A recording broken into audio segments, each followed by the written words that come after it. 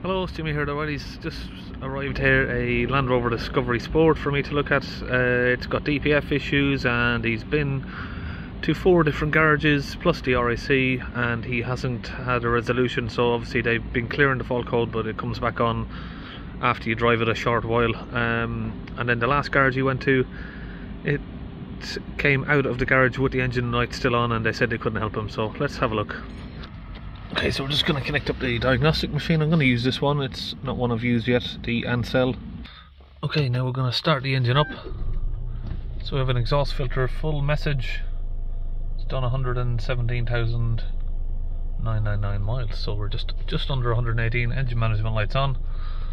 Okay so this is a brand new tool. I've not used this brand before so we're gonna have a go at using it I'm a bit excited to use it really it's something different I've not used it before so um, yeah interesting I'm gonna try and hit the auto detect see if that'll find it if not we can do a search on the search bar up there but it should find it I would imagine Land Rover Discovery Sport 2017. Okay. System selection, we're going to go to the engine ECU. And where we're in, we're going to look for the trouble codes. Glow plug, control module, diesel particulate filter restriction, cylinder floor 4 glow plug, cylinder 1 glow plug, cylinder 2 glow plug, and cylinder 3. That's weird. Intermittent. So we may have a problem with the glow plug control module as well. Hmm. Okay, so my immediate question is have these glow plugs already been changed or not? And has the module even been changed or what have they done? I'm not sure. Or has this just been unplugged? because customer has also given me this from one of the garages I've just folded over I don't want to be naming people who's doing but um, we've got cylinder 4 glow plug on here that's the only one and vehicle conditions incorrect okay so this is another garage so it looks like they've done uh, regeneration uh, a DPF clean free. I'm not sure what that's about. So maybe they obviously they couldn't resolve it, so they didn't charge for the DPF clean or something. But obviously it's got glow plug issues, so DPF regeneration isn't going to work. So of course my question now straight away is obviously this has been to a couple of garages and and their diagnostic report shows uh, glow plug number four I think it was, but now on my scan tool it's saying one, two, three, and four, and the glow plug module. So, what's going on there? Why have we got more fault codes?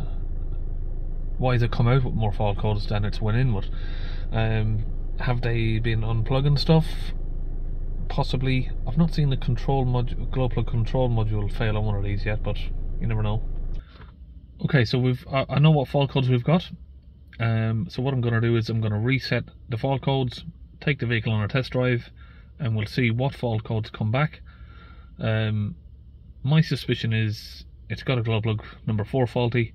It's went in somewhere and I don't know, they've been unplugging stuff, trying to test stuff maybe, and that's why we've got fault codes for all of the other stuff. So, I mean, I've, I've got printouts here, and uh, customers show me other reports from other mechanics on his phone, which all say glow plug cylinder 4, like I said. Um, I, I just don't understand why they you know, for a few years now, I've been sharing these videos to sort of raise awareness. Right, this, you know, people have been doing this for for many years, and the whole reason I made my videos was because I was seeing people do this, go through this exact same issue. Customers are also have, have been going through this, you know, aggravation of four, five, six, seven, eight trips to mechanics, and they still haven't had their DPF issue resolved. Not also for the customers, but also for mechanics. Uh, most of the people who are watching my videos are going to be mechanics themselves who want to learn a little bit about stuff that they don't know. There's a lot of mechanics that know a lot more stuff than I know, trust me. But when it comes to DPFs, I've just spent my time looking at, at why these things happen. And what I don't understand is by now why this has been to, I don't know if he said three or four, I think it was four, four different garages and the RAC. Nobody has told him that he needs to change his glow plug so he can fix his DPF fault. You need to fix your glow plug and then your DPF will be okay as long as you haven't got other issues. If you've got a glow plug error out, on most cars, I'd say 99%, um, your DPF regeneration won't happen. So you can clear your fault or you can clean your DPF. You'll get maybe, you could get anything from, from 20 miles to 300 miles maximum and your light will come back on. So maybe a few days, maybe a day, but maximum I'd say a week and you'll have your error come back. So what we're going to do now, I'll say I'll take it for a test drive. So I can see this is like full acceleration, the vehicle is in restricted performance. Okay, so we've done around about a mile or two. These are the two fault codes that have come back, so exactly like I su suspected. Okay, so the first thing I'm going to do is just remove the glow plugs. They're quite hidden, they're underneath the inlet manifold there, so I'm just going to try and get my hand down there and get them out. So we're just in the process of getting these out. Okay, so there's many tests you can do to try and test glow plugs, but the most simplest one I try and do first is just a continuity test. So if we bridge that over, we haven't got anything, we bridge this one.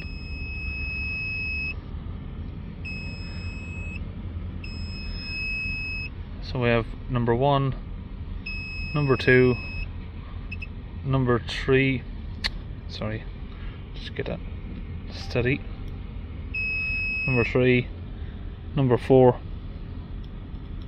Number four is dead. Okay, so while I'm waiting for the replacement glow plugs to come, we're going to do the quick finger of death test.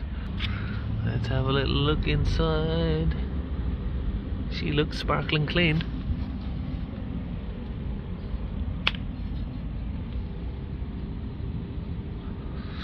Well, sorry, I just need a minute to catch my breath. 117,000 miles, 18,000 miles, and it hasn't had a DPF replaced some Discovery Sports, maybe they are, so maybe some are, are reliable. Okay, new glow plugs arrived and we have fitted them down there. It is quite hard to reach. The way I'm doing this is sort of getting my arm sort of all the way down and you can just about feel where they are. So you, you can't see them but you can feel them. It does sort of dig into your arm a bit as you're doing it but you can get it done. Okay now I'm going to attempt to clear that glow plug fault again.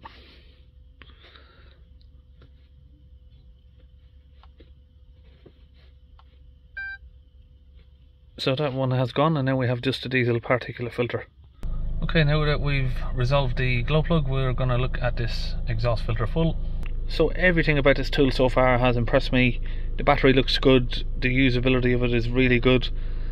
One thing I've noticed so far, which I had a problem with on one of my the Thinktool that I tried before, is it doesn't have a search bar so you can quickly go through the live data. There is literally hundreds of different items here that you can go through and trying to find the one you're looking for can take a while unless you have a search bar where you can just search what you're looking for and then tick them off.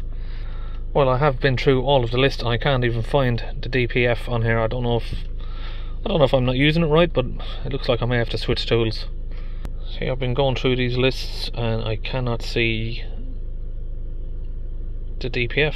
We've got all of the other live data. We've got DPF stuff obviously in the in the fault codes and we I think we have the options for the special functions for it but I just can't find the live data on this tool. See we have these options but we just can't find the live data um, page that we're looking for so I don't know what's going on there. Okay I'm gonna have to get out the Euro tab 3 from launch. Okay we have the Euro tab 3 set up. We're just to look in the data stream. And you see here we've got a search option here. So we're going to look for differential pressure and soot.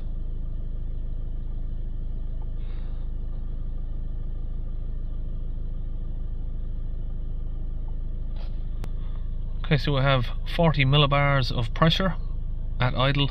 Um, obviously this has been reset by the garage so you, I wouldn't take notice of this measured soot mass. It's been reset um, that would have been up around sort of with that pressure I'd imagine that would have been up around sort of 50 to 60 grams. So the DPF is quite blocked so we're going to need to get that sorted out. Now we've got the engine speed there as well. We're going to hold the revs up to around about 3000 rpm and see what what pressure it goes up to. 250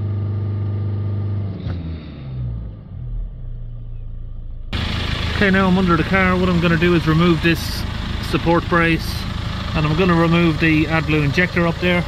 It's usually on a 4mm hex socket. So there is the AdBlue port.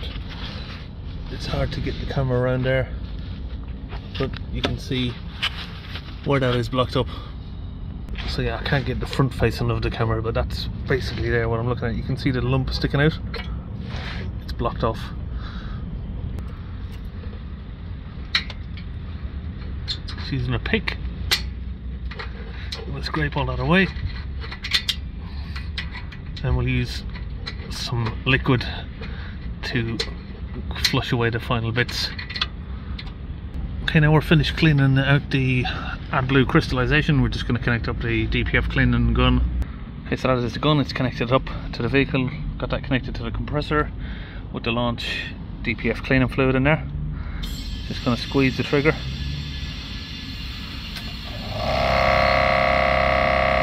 We'll get that filled up. Okay, back inside, we're going to start up the car. Just going to hold the revs up around 3000 RPM. Just going to keep an eye on the level now. Of course, it started off at 250, like we showed at the start of the video. Now, I would be expecting this to come down below 50 millibars we are coming down there.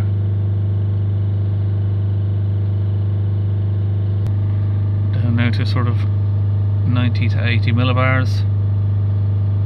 Let it idle down we have 10 okay now it would be safe for me to go to the vehicle special functions and reset the DPF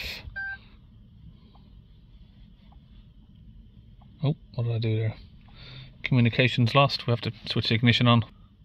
Okay so we're nearly done. And that's done successfully. And we've just confirmed that we've got no fault codes in the ECU now. Go back to the data stream. And again we get the engine speed and uh, DPF pressure up.